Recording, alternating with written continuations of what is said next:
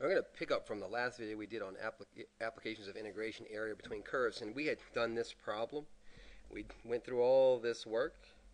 We found our, our intervals here. We found our intersections. We labeled as much as we could. We did some tests to figure out how we knew which curve was over which. Um,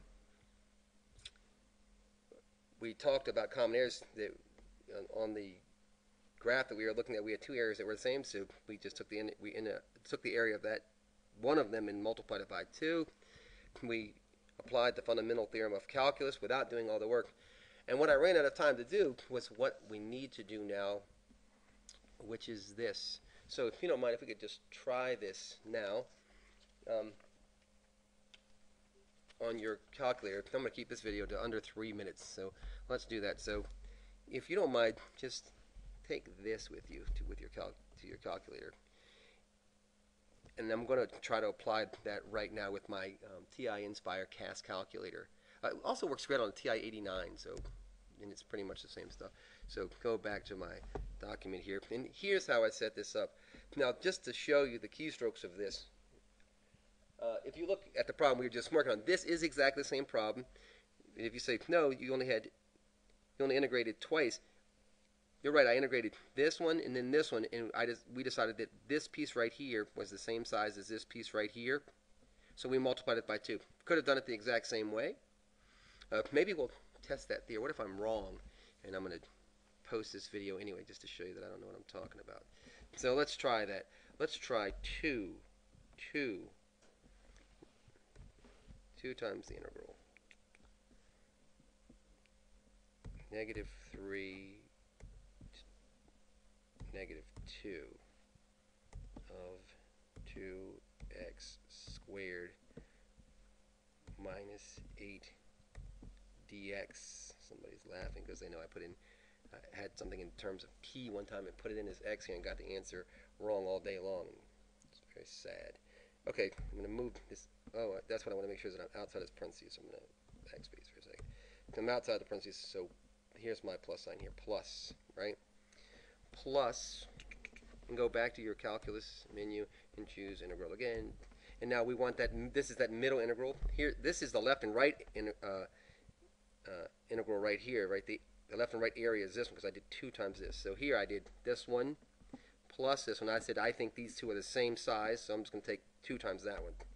And this one is from negative 2 to 2. And if you can picture, that's the kind of oval shaped piece that we were talking about uh, and it was of 8 minus 2x squared dx dx. And hit enter? Holy macaroni it worked. So more proof more proof more proof. That's actually really good news for us. Worked out just fine didn't it?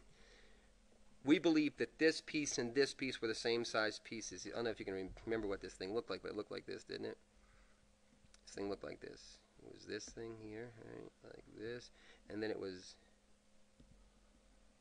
this piece here, and this was right here was the part that was had an x value of negative 2 here and an x value of 2 here. And we re we recognized that there was symmetry, that this thing was symmetrical uh, to the y-axis. And then we had this thing here.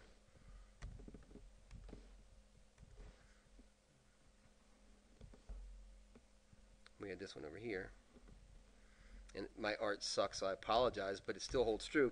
And this was x equals negative 3, and this is x equals 3. And when we looked at it carefully and tested the symmetry of it, we realized that the this area here, that this area here was identical to this area here. So in the first the first problem we did, the first way that we did this on the calculator, we said, you know what?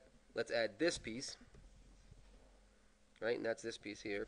And then let's add it to um, this piece, and that's this piece here. And then in the middle, it doesn't matter what order we added them in. In the middle, let's add the area of this thing here, and that's this. Right? In our second attempt, though, we said that this area and this area are the same, so we got two of these pieces. So we said, you know what? This we have one of these areas here, and we have another one of the same area here. So we have two of those areas, and that's this right here, two of these areas, plus one of these areas here, and we have one of those, right? So hopefully that helps. The calculator can be really, really helpful. You should really, really practice uh, doing this kind of work on your calculator. So by the time you have to do it on the exam, you know there won't, there certainly will not be time to figure this out on the exam. So okay, hope that was all really helpful, really, really helpful. And that's all I have for you.